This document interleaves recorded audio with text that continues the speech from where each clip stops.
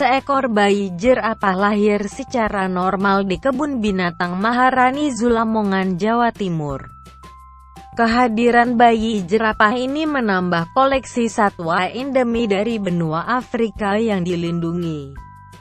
Selain menambah koleksi, kelahiran bayi jerapah ini sekaligus menjadi bukti Maharani Zoo dalam konservasi hewan dilindungi.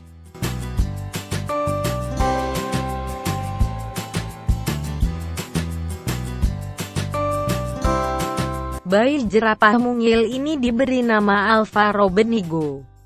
Alvaro lahir dari indukan bernama William dan Sandra. Bayi jerapah jantan ini lahir secara normal sebulan yang lalu. Di kebun binatang Maharani di Kecamatan Paciran, Lamongan, Jawa Timur.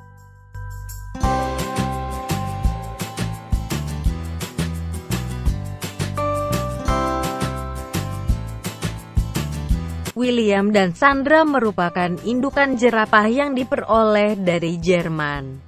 Selama di Maharani Zoo, indukan jerapah ini telah melahirkan sebanyak dua kali. Bayi pertama dititipkan di kebun binatang kota Malang. Dan yang kedua ini baru selesai menjalani isolasi. Dan mulai diperkenalkan kepada pengunjung sejak sepekan lalu.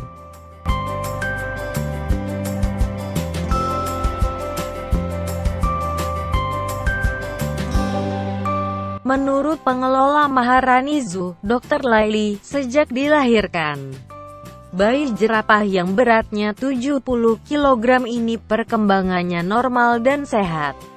Hingga kini masih diberi makanan ASI. Untuk menjaga kesehatannya, petugas melakukan pengawasan selama 24 jam.